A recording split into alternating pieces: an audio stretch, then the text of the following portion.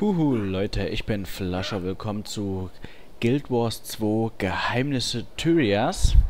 Es ist endlich mal wieder Zeit für eine Episode und zwar will ich euch heute einen geheimen Erdbeergarten ähm, zeigen. Das ähm, möchte ich aus mehreren Gründen. Erstens könnt ihr da ziemlich viele Erdbeeren farmen be beziehungsweise abbauen. Und zweitens sieht auch ähm, das Gebiet, wo sich die Erdbeeren befinden, ziemlich schön aus.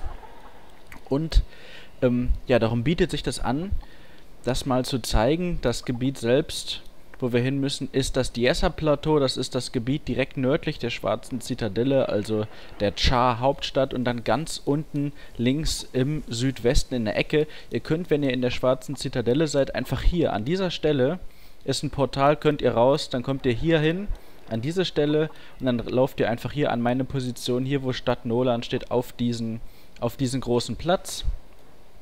Orientierungspunkt ist hier dieser kleine Brunnen und dann geht's los. Noch weiter Richtung ähm, Westen zu diesem Vista, was ihr hier unten auch auf der Karte seht. Da wollen wir hin. Das ist ähm, so unsere Startposition, da sehen wir es auch schon. Und wir können jetzt hier auf der Karte auch schon dieses Erdbeerbeet oder dieses, diesen Erdbeergarten sehen. Da seht das hier unten auf der Minikarte unten rechts. Und darum ist dieses Geheimnis auch eigentlich gar kein so großes Geheimnis für die meisten Leute. Denn die meisten, die hier waren und die Karte abgeschlossen haben und somit auch zu diesem Vista gekommen sind, werden wahrscheinlich dieses Erdbeerbeet hier unten auf der Karte gesehen haben. Allerdings wissen nur die wenigsten, wie man da tatsächlich hinkommt.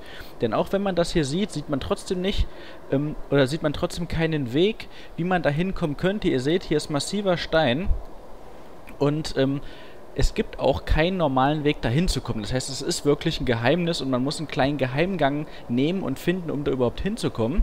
Den werde ich euch jetzt zeigen. Also wir starten von diesem Vista aus, gehen jetzt hier weiter nach rechts, also weiter nach Westen im Prinzip.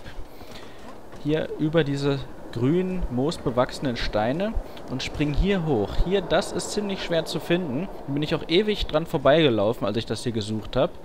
Dann geht es wieder in die andere Richtung hier hoch. Dieser Sprung hier ist ein bisschen blöd, aber auch schaffbar. Wieder umdrehen, hier rüber und dann hier in dieses zugewachsene Rohr rein. Das ist der Geheimweg. Hier durch dieses Rohr, hier sieht man dann auch ein paar Kerzen. Und dann geht es hier einfach durch. Und dann kommen wir nämlich in dieses geheime Gebiet.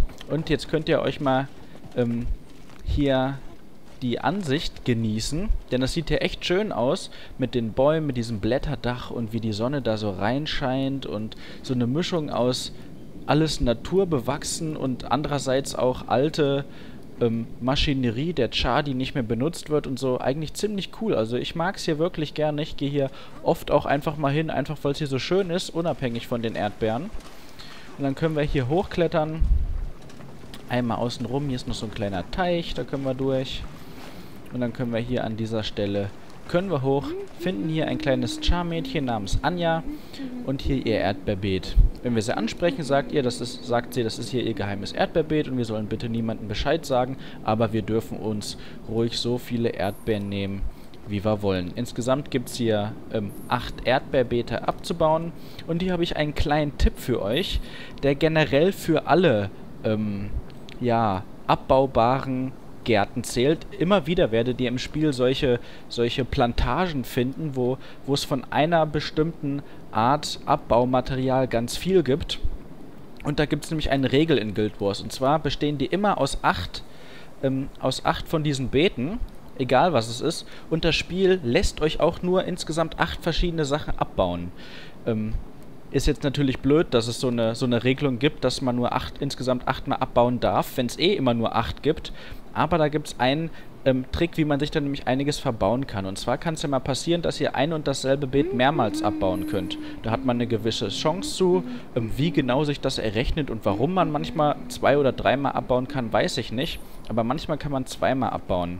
Allerdings zählt das Spiel mit, wie viele verschiedene Beete ihr abgebaut habt. Und weil es halt die Begrenzung gibt, dass man in so einer Plantage maximal acht verschiedene Beete abbauen darf, sperrt das Spiel automatisch danach alle Beete, die noch nicht abgebaut sind, wenn ihr acht verschiedene Beete abgebaut habt. Darum ähm, ist es wichtig, dass wenn ein Beet mehrmals abbaubar ist, dass ihr immer erst ein Beet komplett fertig macht. Das Spiel zählt nämlich nicht, wie oft ihr insgesamt abgebaut habt, sondern wie viele verschiedene Beete ihr abgebaut habt. Das heißt, ihr könntet hier auch ein und dasselbe Beet, wenn es gehen würde, theoretisch zwölfmal oder 20 Mal abbauen, denn das Spiel guckt nur, wie viele verschiedene Beete ihr abgebaut habt.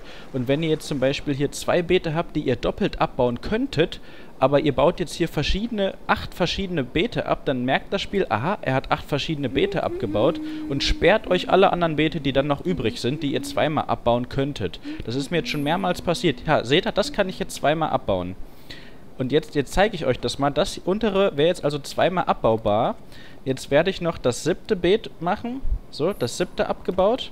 Und jetzt das achte. Und dann werdet ihr sehen, zack, das Spiel sperrt mir automatisch wieder das eine Beet, was ich hier doppelt hätte abbauen können. Weil es halt automatisch mitzählt, dass man nur acht verschiedene abbauen darf und dann alles sperrt. Hätte ich jetzt aber erst dieses Beet fertig gemacht, also das noch abgebaut, dann hätte ich auch noch die anderen beiden abbauen können, weil es halt nur um die verschiedenen geht und nicht wie oft ihr insgesamt abgebaut habt. Naja, nur das als kleiner Tipp außerhalb von diesem Geheimnis, was ich euch eigentlich zeigen wollte. Ähm, so ist es halt bei allen von diesen Plantagen, die ihr finden könntet. Ähm, ich will jetzt aber das Video auch nicht ewig lang in die Länge ziehen, nur als kleiner Hinweis, dass euch das in Zukunft nicht passiert, so wie mir jetzt, dass ich dieses eine Beet halt nicht zweimal abbauen konnte. Naja, ich verabschiede mich auf jeden Fall mit diesen Worten und wir sehen uns die Tage wieder. Ciao Leute.